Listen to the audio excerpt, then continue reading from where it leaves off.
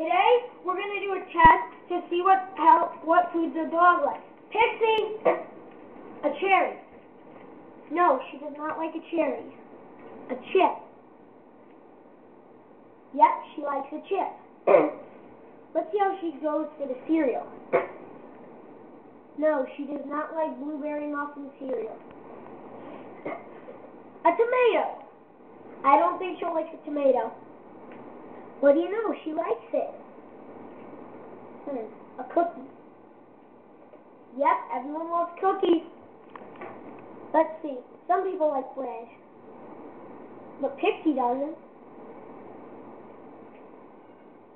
A handful of peanuts. Yes, she does. Raisins. I don't think anybody likes raisins. Nope, she doesn't either. And last but not least, the strawberries. Yep, she loves her strawberries. We'll see you later on on Dog Food Test 2.